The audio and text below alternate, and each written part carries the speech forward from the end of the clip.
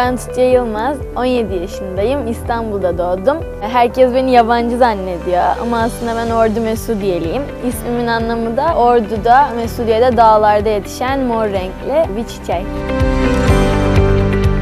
3 yaşında beni jimnastik salonuna almamışlar. Altımda bezim falan varmış.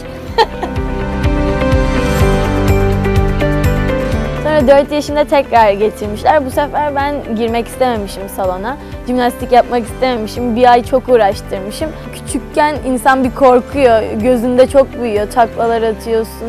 İşte havada uçuyorsun yani küçük bir çocuk için öyle ama büyüdükçe aslında ben zevkini çıkarmaya başladım.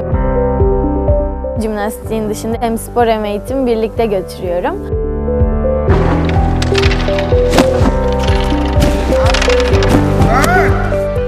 Jimnastik çok uzun çalışma saatleri e, gerektiren bir spor branşı. Biz yaklaşık e, 7 saat bu salonun içinde geçiriyoruz, antrenman yapıyoruz. Sevmeden yapılması imkansız çünkü çok çalışıyoruz.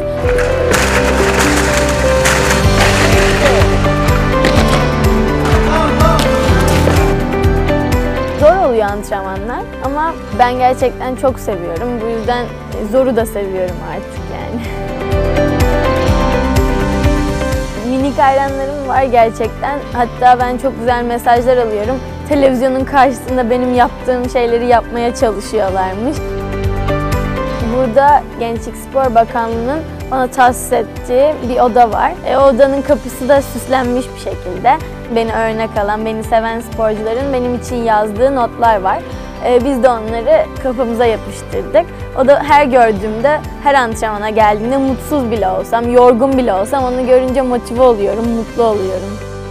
Rio'da yarışırken benim yanımda e, 40 yaşında sporcu da vardı. İşte 17-18 yaşlarında da vardı. Ben çok gurur duydum aslında kendimle. Çok heyecanlandım. E, Yarışmaya girmeden önce bir ara bayılacak gibi oldum heyecandan. Hani hiçbir yarışma ben öyle hissetmemiştim. Çünkü e, hayalimi gerçekleştirecektim orada.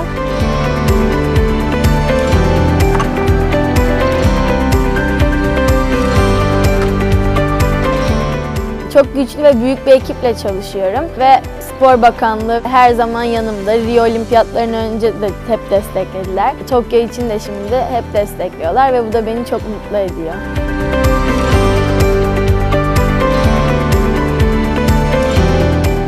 Hayalim 2020 Tokyo Olimpiyatlarında yapabileceğimin en iyisini yaparak ülkemi en güzel şekilde temsil edip finallere kalmak. Bu süreç zor bir süreç. Gerekirse acı var, gerekirse gözyaşı var. Ee, ama sonunda mutluluk ve başarı var.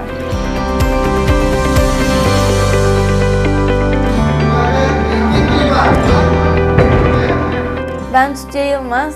Nerede ve kiminle yarışırsam yarışayım her zaman en iyisini yapmak ve en iyisi olmak için çalışırım.